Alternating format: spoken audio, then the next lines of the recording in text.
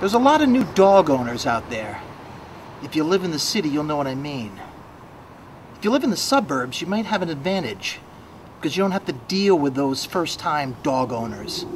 You know, people that say stuff like, oh, having a dog is like having a kid. No, it's not. The dog's not going to college. No, you're not going to college. And the dog is not going to sneak the car out at 2 in the morning. No, dogs are more like having a half kid, a forever first grader who only gets more tired as the years pass, never to graduate to the second grade. Here is Luna. Do you think we have to be on guard when we walk her here in San Francisco?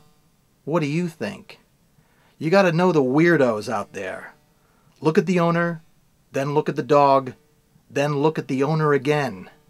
They'll give it away.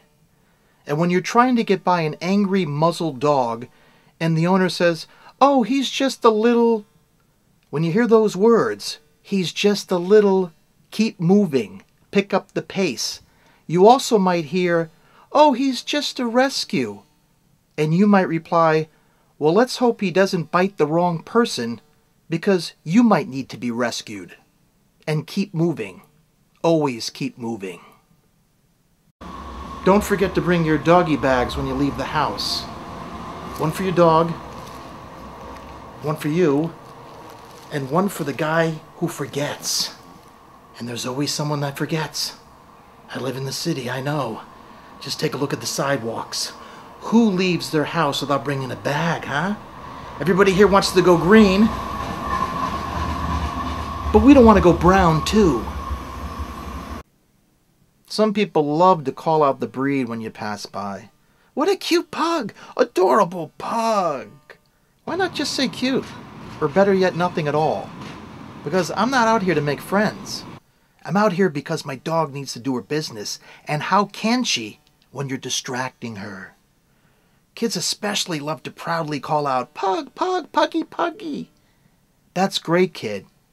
But you don't get the lollipop because pugs are pretty common. Can you guess this dog? Or this one? How about this one? No, I didn't think so. Now you might be thinking, gee, this dog owner, what a pain in the ass. He's uptight, he's kind of jerky. And you'd be right. But Luna is the star of the show, not me.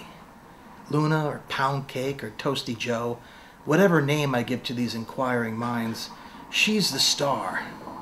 They're not looking at me and pointing and saying Italian American, Italian American. No, she's the star. I'm the caddy and she's the star golfer.